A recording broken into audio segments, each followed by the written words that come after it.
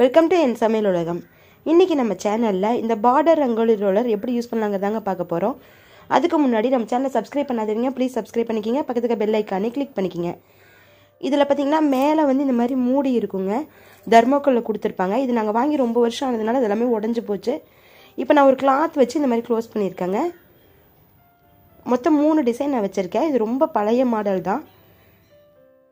இது எப்படி use பண்ணலாங்கிறது first பார்த்தலாம் எப்பவுமே ஒரு சைடு ஓப்பன் பண்ணிக்கணும். இன்னொரு சைடு வந்து நம்ம க்ளோஸாக தான் இருக்கணும். இதில் வந்து இப்போ கோலப்பொடி வந்து ஃபில் பண்ணிக்கலாங்க. நம்ம கையில் எடுக்கிறத விட இந்த மாதிரி பேப்பரில் எடுத்து போடும்போது கொஞ்சம் ஈஸியாக இருக்கும். கோலப்பொடி வந்து அதே மாதிரியே ரொம்ப நைஸாக இருக்கணுங்க. பருப்பருன்னு இருந்துச்சுன்னா இந்த ஓட்டையில் வந்து அதிகமாக வராது. க்ளோஸ் பண்ணுறது பார்த்தீங்கன்னா நல்லா வந்து அந்த ஓட்டைக்கு மேலே இருக்க மாதிரி தான் க்ளோஸ் பண்ணணும். இப்போ நான் க்ளோஸ் பண்ணும்போது கொஞ்சம் உள்ளே தள்ளி போயிடுச்சு போல இருக்குது இப்போ நான் போடும்போது ஒரு லைன் கொஞ்சம் விட்டு தாங்க வந்துச்சு. இப்போ நம்ம எந்த இடத்துல வந்து நமக்கு பார்டர் வேணுமோ அந்த இடத்துல இப்படி வச்சுட்டு நம்ம அப்படியே வந்து அந்த உருட்டிகிட்டே வரணும். இடையில வந்து எடுத்தோம் அப்படின்னா அந்த ஷேப் மாறிடுங்க. நம்ம எந்த அளவுக்கு நீளம் வேணுமோ அந்த அளவுக்கு அந்த பார்டர் வந்து உருட்டிகிட்டே வந்துக்கலாம். அப்போ அதில் இருக்கிற டிசைன் வந்து அப்படியே வரும். இப்போ நான் க்ளோஸ் பண்ணியிருக்கிறது வந்து கொஞ்சம் உள்ள க்ளோஸ் பண்ணிட்டோம் போல் கீழ் லைன் வந்து கொஞ்சம் சரியாக வரல எனக்கு.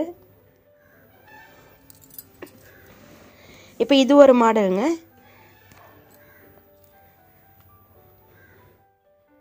க்ளோஸ் பண்ணும்போது மட்டும் கொஞ்சம் ஹோல்ஸுக்கு மேலே இருக்கிற மாதிரி க்ளோஸ் பண்ணிக்கணும்.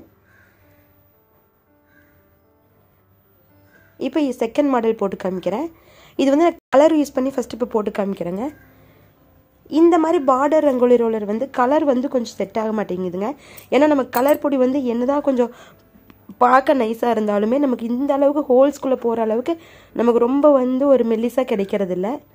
அப்போ அதனால் வந்து கொஞ்சம் இந்த மாதிரி பருப்பருன்னு கொஞ்சம் விட்டு விட்டு தாங்க வருது. ஆனால் இது கலரில் போடணும் அப்படின்னாலும் டைல்ஸில் போடும்போது கொஞ்சம் கரெக்டாக வரும்னு நினைக்கிறேன் இது. இப்போ அடுத்து பார்த்தீங்கன்னா அதே டிசைனை நான் ஒயிட்டில் போட்டு காமிக்கிறேன். ஒயிட் கலரில் வந்து பார்த்திங்கன்னா அந்த டிசைன் வந்து நல்லா அச்சாக வருங்க.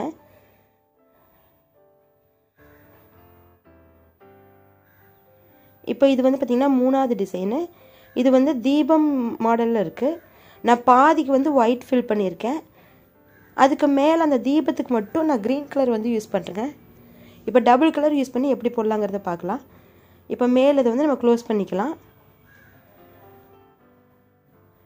நமக்கு எந்த இடத்துலேருந்து பார்டர் வேணுமோ அங்கே வச்சுட்டு நம்ம அப்படியே வந்து நல்லா அழுத்தி இப்படி உருட்டிகிட்டே வரலாங்க. கலர் யூஸ் பண்ணும்போது மட்டும் கொஞ்சம் நல்லா அழுத்தம் கொடுத்து உருட்டணும். இப்போ பார்த்தீங்கன்னா கீழே வந்து ஒயிட் கலரில் இருக்குது அந்த தீபம். மேலே அந்த தீபம் எரியறது வந்து க்ரீன் கலரில் வந்திருக்கு. இப்போ இதே மாடலாக நான் வெறும் ஒயிட்டில் மட்டும் போட்டு காமிக்கிறேன். நல்லா வந்து அழுத்தி உருட்டணும் அப்படின்னா அந்த ஷேப் மாறாமல் அப்படியே நமக்கு அந்த பார்டர் வருங்க. இது நிறைய பேர் வீட்டில் இருக்கும். ஆனால் நிறைய பேர் வந்து இது பழைய மாடல் யூஸ் பண்ணாமே வச்சுருப்பாங்க.